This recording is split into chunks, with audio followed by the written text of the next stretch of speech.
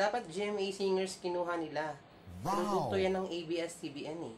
Malaking sampal na naman to sa 70 minus 1 equals 69 na kongresista.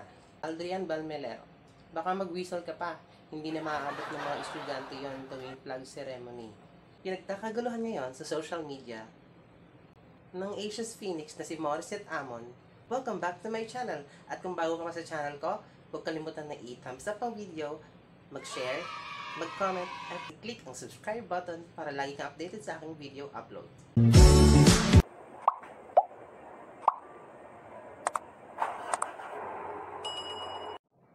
Usap-usapan ngayon sa social media kung bakit nga ba si Morissette Amon ang napiling nakakanta para sa last sona ni President Rodrigo Duterte dahil isa itong ABS-CBN artist.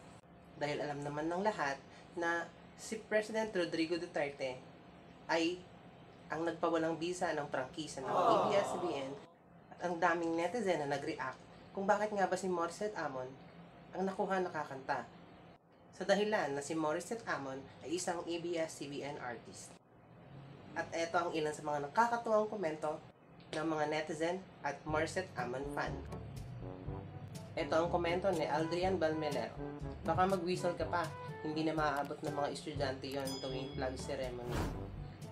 Komento naman ni Kali Ann Pablo, may whistle ba ito sa lyrics na ang mamatay ng dahil sa'yo? At sabi naman ni Thomas Jan, dapat GMA singers kinuha nila. Produkto yan ng ABS-CBN eh. Malaking sampal na naman to sa 70 minus 1 equals 69 na kongresista. Sabi naman ni Madam Oisel Jing, tapos kukuha sila ng singer na galing sa ABS. Sa GMA dapat sila kumuha. Ay, wala silang bet na singer doon.